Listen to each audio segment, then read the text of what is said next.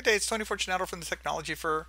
Today we are going to play with the uh, VMware uh, player and iPerf 3 and we're going to test a few different things. So I want to jump right into it because I don't want to take up too much time.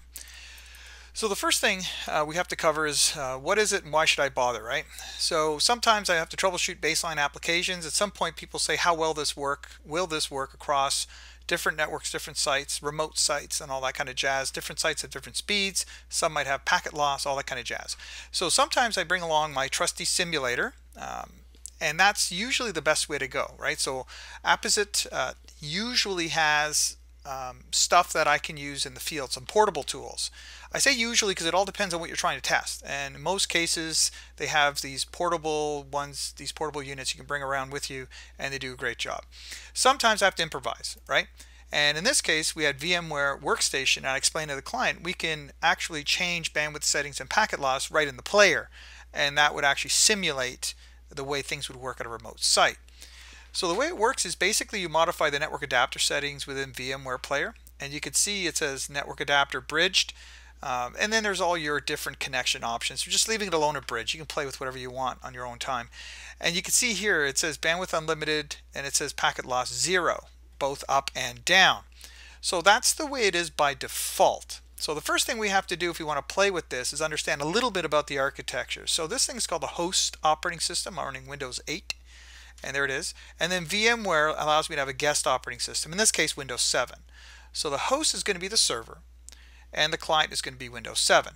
And that's that's eventually what we're going to get to, all right? We also need a methodology. So I'm going to document what version of Workstation Player I'm running. I'm running 12. If you want to get the current one, it's 14. You can just go to this URL, either this or this. Um, or you can just go to VMware and just search for uh, the player and it'll pop right up. So there's our three-step process. We're going to work within our operating system first. We want to do a local test. Then we're going to go from guest to host, operating system that is. And the dash C means the guest is going to use that dash C option and the host is the dash S for server. You'll see what that means in just a moment if you've never done this before. We make changes and then we just retest. So before I jump to that, I want to briefly show you what I was doing. So the first thing is there's what happens when you get iPerf version 3. You just unzip it, you get a bunch of files, right? So if you want to go to the command prompt relatively quickly, here's a really neat little trick. You just go to your address bar and just type CMD, Charlie Michael Daniels, hit enter, and then that just brings up the command prompt, which just popped up on my this screen. Let me just bring it over for you. And you'll see that's where the command prompt is. So that's a real easy way to get to the command prompt without, you know, opening the command prompt, change directory, change drive, all that kind of jazz, all right? So that that's done. Now, I want to show you, I've got two command prompts open right now, and let me just make sure you can see them both. There's one, and there's the other one. So one is going to be the server, so iperf3-s, he's a server, that's it, that's all there's to it. And now we need a client. So this guy is going to be iperf3 dash c. and the test we want to do, whoops, the test we want to do is an internal loopback, 127.0.0.1. So it's going to test inside my host operating system, the Windows 8 thing, my real computer. I want a baseline. I want to know how well things are working.